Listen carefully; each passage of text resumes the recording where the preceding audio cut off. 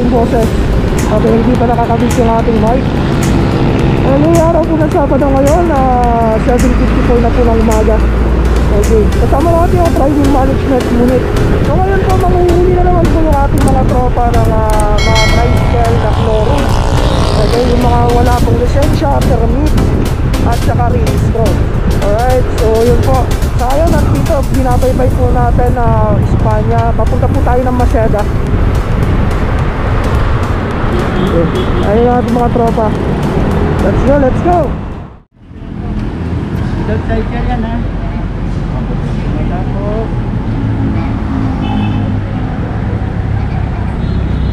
Kaya na student mo. Pwede mo dog license ka. Saka hindi lisensya to ha. Student lang to. Tatali ka muna ha. Sa Diba mo? Okay, so ayun po yung ah, unang nahuli ng ating mga tribal management unit, yung mga enforcer ngayon. So makikita po natin na yung kanyang ah, sidecar is ah, hindi po standard. Wala rin pong ah, lisensya at saka registro. Okay, time check po muna tayo mga ano, 7.58. At today is March 13, 2021, araw po ng Sabado. Ulitin ko po yung area natin, Jen Geronimo Street. Okay, ayun, pinara po yung isang side guard. So, for verification lang po, ah, permit at saka lisensya. Registro.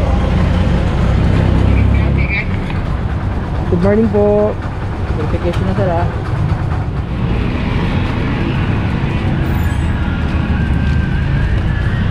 Ito permit ng Okay sir. Okay. Pa-registro. Maraming salamat sa God bless po. Kompleto, po lahat. Sana kagaya po lahat ni Kuya. Good job po. Shoutout Mercado Beverages. Ayun, maraming salamat. God bless po. Okay, remain po tayo mga kano. Nandito po tayo sa Gitwason.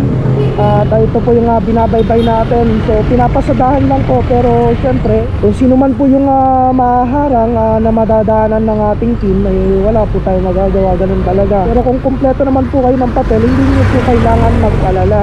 Titignan lang naman po kung um, updated yung, yung mga papel, yung registro, lisensya, yun lang naman po. Pangalan nila, sir? Angelo. Sir Angelo, shoutout po kay Sir Angelo. God bless po. Angelo kayo na mapanood eh. Salamat, sir. Okay, Villa Fuente Street, G. Quason. Dito, samahan mo na po. Ayos na po tayo. Yung takbo, takbo nga doon. Takbo mo kay Libby daw. Sige, may ari daw. Pag ano yun? Dito, sige mo na po. Sir, di po makasama sir. May ari makasama kayo. May deliver pa po ako eh. Ikaw, bala ka. Ayaw mo samahan. Eh, May deliver ako sir eh. Eh, sumama ng driver. Kuya, kailangan mo samahan. Baka i-hold nila yung motor mo. Ha? Baka i-hold nila yung motor mo. Pag Pag hindi mo sinamahan. Ano ba nangyari, kuya? Bakit nahuli? wala akong complete yun siya. May permit. Saka yung RCR lang di ko nadala. Nandun may ari eh. Naku. Kailangan dala-dala yun palagi, kuya. Kaya nga sir eh. Okay, so ayaw pong samahan ni Kuya. Ngayon na may posibilidad po na pwede nilang i-hold ito. Okay, so pagpapatuloy po mga kanang, nandito na tayo sa G. Tuazon, corner po ng G. Santiago Street. Umuronda lang po tayo.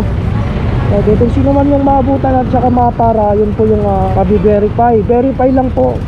Kung kumpleto naman ng papel, ulitin ko po, pagbibigyan naman po yan. Hindi po kayo huhulihin. Pero pag oras na kulang po, talagang sadya pong uh, matitikitan.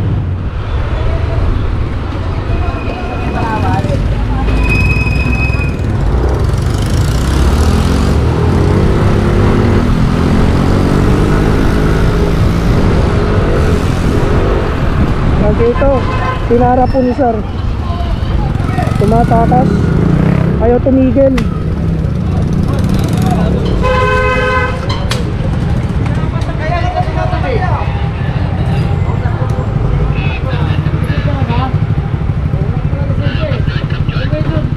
Ayun, walang lisensya si kuya. Pinapatigil na po siya kanina, ayaw pong tumigil.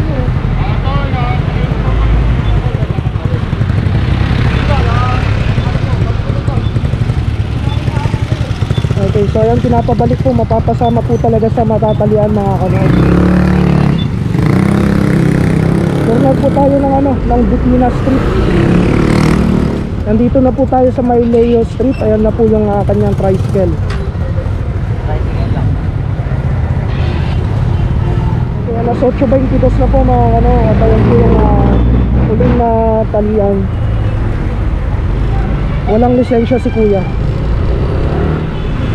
Okay, si kuya, wala pong helmet. Sir, ba't hindi kayo nag-helmet, sir? Yan nakasir sa Hindi po, malayo o malapit. Once pumunta ka ng motor mo, dapat po nag-helmet. Yun lang naman kasi ako nagbilang din yun. Tol, stand, stand! Ay, maraming salamat, sir. Sige, Tol. Sige po, sir. Helmet. Naganda lang ako.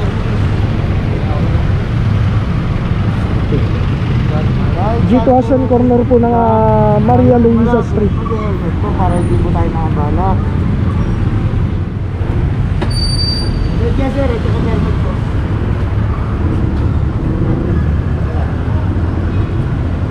Pakilabas po sa jacket, sir. Ma'am, saglit lang po. Pasensya na po kayo sa abala, ha? Ah, may permit tayo, sir. Walang permit, sir. Wala kayong permit? Tol! Pasahero to! Walang permit! Sir Lelis, may pagkakataon ba na ano na yung kung yung mga nat- natalian ngayon eh kumpleto naman kagaya ni sir bakit sa kanya ticket pero yung iba natalian sir ano po yung pagkakaiba May pasahero po kasi. okay Oh, kung may pasahero, pwede naman natin tikita na lang. Para maka hindi rin mabala yung pasahero. Ngayon, kung wala namang pasahero, automatic po itatali natin. okay Ganun po yung ano. ayun so ayun guys ha, para malinawan po kayo kasi may mga nagtatanong po dyan thank you so much sir Lelis God bless po ayun po yung pagkakaiba kung bakit si kuya napikitan at saka yung iba po natalian alright Okay, so ayun po after po ni Kuya dahil sa walang helmet kay Kuya naman po dahil sa wala po siyang permit. And ayun na naman po mayroon na naman pong uh, napara. Ah, yung rider at saka yung back rider wala pong helmet. Dapat po nag-helmet tayo. Wala yung malapit ang pupuntahan. Hindi po tayo tayo dito dyan, saka siya. Hindi po, palisin nyo lang po.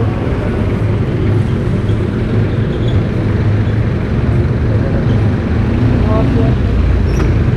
Ano nakabaril nyo? Ha? May impound dyan, sir. May impound po yan. Ha? Ah, pag unregistered sir, automatic po din yan, ticket at impound po yan. Pag niya unregistered. Po? Dapat po yung natin po yan kasi Nag-pandemic po, hindi mo kumapagpapasok. sir, eh, lahat naman po ba sa pandemic. Oo, hindi lang naman po kayo tinamahan, pero yung iba nakakapag-release naman po. O ganito na lang sir, titigil, panitigilan na lang natin ito. Tatanggalin na natin yung unregistered. O, no helmet na lang. Ha? Tulong ko na lang sa iyo, tol. Sir! Ito ka raw po. Na lang po ang ilalagay. So ayan, uh, naawa si Sir Lelis. Ngayon ang gagawin po, um, imbis na unregistered at saka no helmet, no helmet na lang po ilalagay. For consideration na lang. Okay, Matinyas Street tayo, mga ano, Matinyas na. At ayan po, may isang napara po ulit.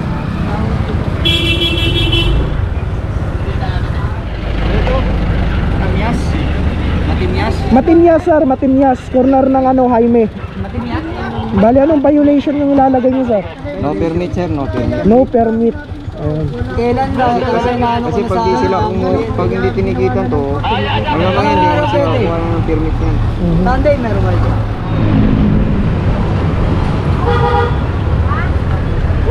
Wala ka lisensya? Ginagres ka, wala ka lisensya. Pasahero po kayo, Nay? Opo. Opo, ah. Yung driver niyo po, wala ka lisensya? Oo nga, pasensya na po ha. Transfer na lang po natin sa ano, sa may lisensya. Papara po tayo ng tricycle na may lisensya. Ayun. So bali ang mangyayari po si nanay po itatransfer doon sa may lisensya talaga. Kawawa naman. Sila po mag-decide doon na hindi from Ito po may lisensya po to. bati mo lang yan. Ay, so ayan po, nandito na po tayo sa Dimasalang Road. Okay, pagpapatuloy po ng operation ng ating uh, tri-wheel management unit. So ayan po, ah, meron na pong natalian na mga 16 na tricycle. Simula po sa ano, ah, Maseda, sa pinakaunang location natin hanggang ngayon dito sa Dimasalang.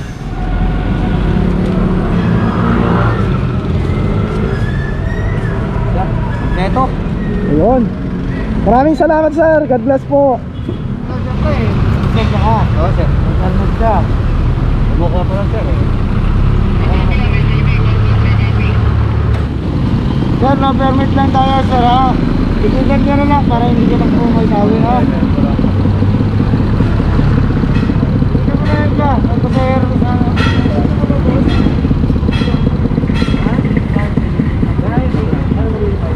Paano emergency?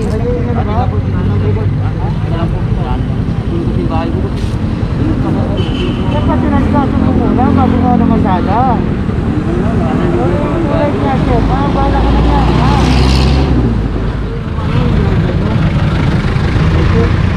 May operation ngayon sa tricycle. Transfer na lang po kayo na ibang ano. ano.